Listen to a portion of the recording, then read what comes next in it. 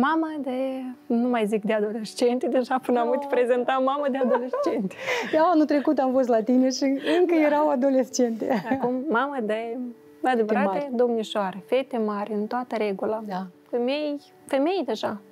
18 ani, da? Poți să le Da, consideri? este da? deja că dacă ne raportăm la Cleopatra, că se căsătorit la 18 ani și am temeiat o familie, Apropo de Cleopatra, știi că a fost invitată și la emisiunea mea când am fost la București. De interviul ăsta vreau să spun, mi-a, f- mi-a fost cam greu să vorbesc cu ea, știi? Fiindcă în fața mea stătea o, o copiliță care practic îi de seamă cu fetițele mele, dar care e femeie măritată, cum zici tu, la casa ei, uh, deci îmbrăcată ca o doamnă, așa, de asta, glam, știi, toată, Mhm. știi, deci, uh, care și s-a poziționat așa ca o femeie matură.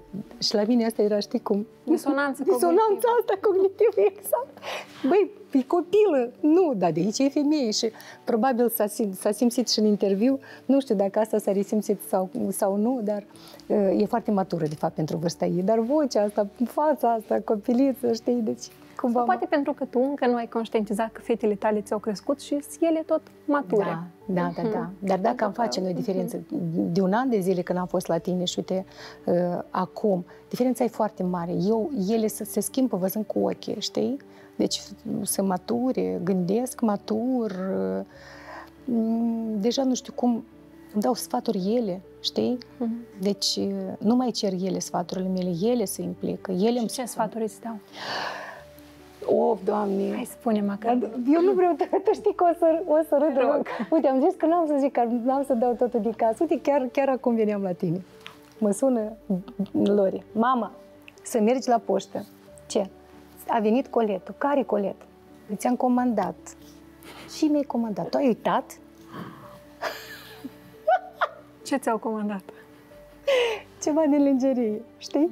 Dar iarăși am cerut că eu, nu cum am cerut, eu n-am cerut, eu, eu îi spuneam că uite-te, eu ca, noi ca femeile, că iată mi-ar trebui, iată așa o lingerie și nu știu ce. Și la care ea îmi spune, a găsit mama, uite-te, uite că sunt și prin poștă, prin coleț, aduce și nu știu ce. Da, da, nu? Ea a luat fără ca să-mi zică, a comandat tot și acum anunță. Mama, poți să treci la poștă, ți-a venit coletul. Eu zic, care? Păi despre care vorbeam? Zic, mamă, m-a spus Au la crescut fetele. deci ele deja în poartă de grijă și s-au gândit, mama, nu, nu o să-și comande, sigur nu o să mai comande, Mhm. știi? Și au făcut-o ele pentru mine. Iată, de exemplu, așa, un- nu, nu vreau să zic ce am comandat, dar asta e. Au absolvit uh, liceul anul Da. acesta. S-a lăsat cu emoții, ai plâns la careu? Uite, vreau să-ți spun, pe 1 septembrie, când ne-am dus la ultimul sunet în clasa 12, deci primul sunet, primul sunet, Da. da. dar în, în clasa 12, eu am avut emoții mult mai mari ca la ultimul. Eu credeam că la ultimul vor fi emoțiile mai mari. Nu știu ce s-a întâmplat.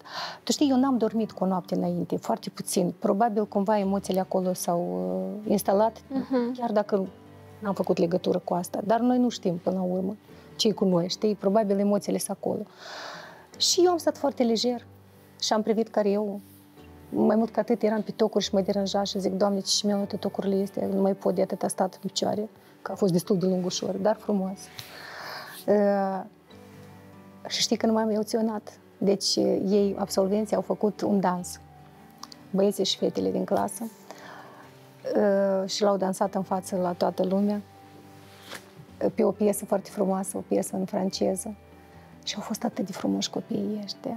Mă uitam la ele, uh, nu putea lua ochii și uite atunci mi-au ieșit lacrimile, fiindcă și piesa uh, foarte lirică și dansul ăsta.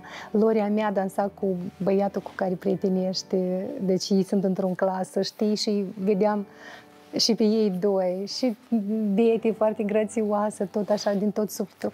Dar, în general, în general, toți copiii erau atât de frumoși și eu cred că ăsta a fost momentul când toți părinții au, au, le-au dat lacrimile. Iată, ăsta a fost uh, culminația, știi?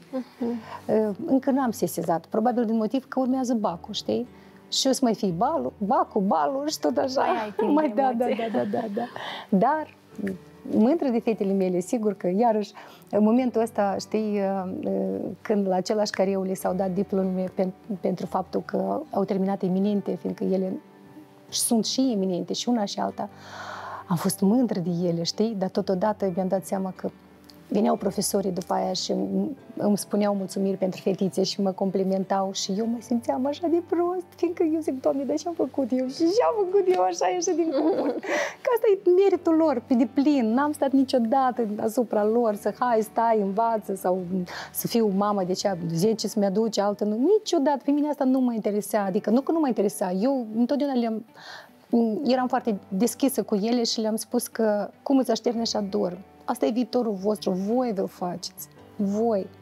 Și le spuneam, noi știm măturători avem nevoie. Așa că toate profesiile sunt binevenite, fetele mele, știți, asta e treaba voastră.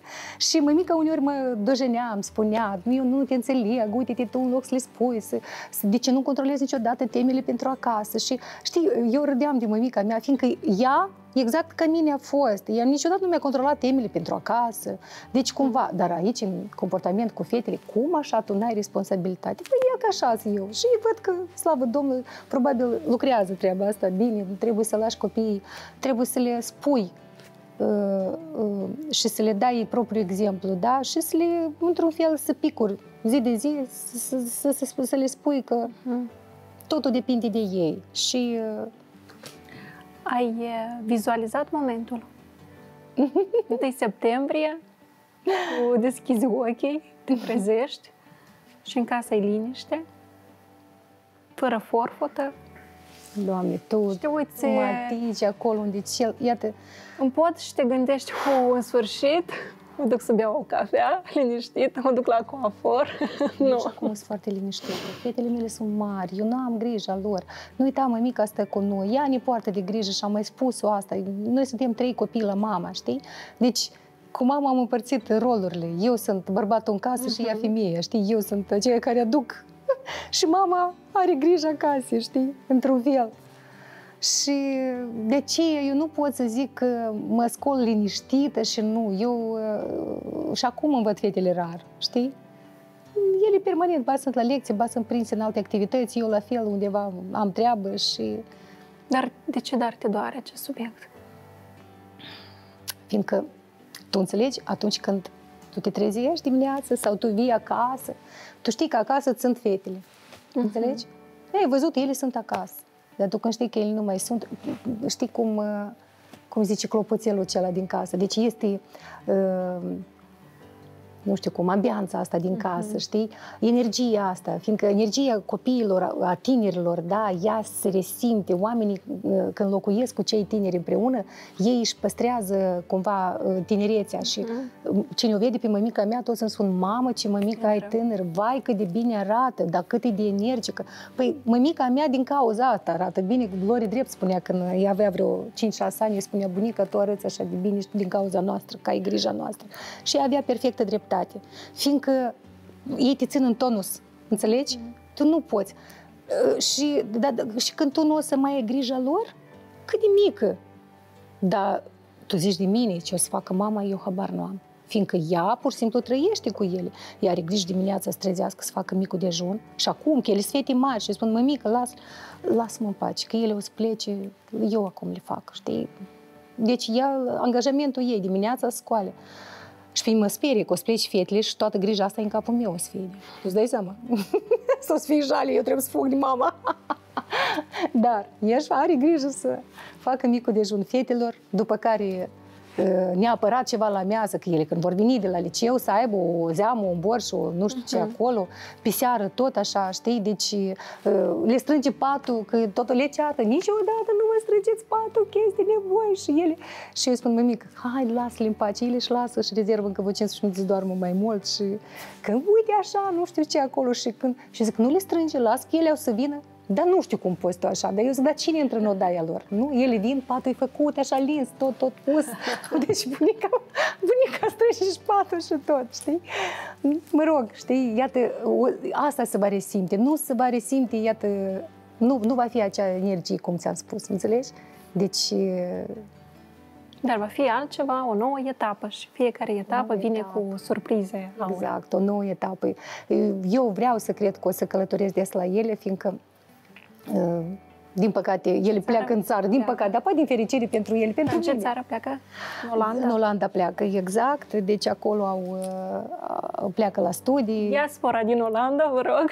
Da, da, da, da. Evenimente cât mai des, Laura. Da, vă rog, diaspora, dar noi avem diaspora în Olanda, da, în Amsterdam, Da, probabil. avem. Da, vă rog. Fete, nu, nu, nu vor învăța în Amsterdam, în- în Amsterdam, în alt orășel, dar oricum în Olanda.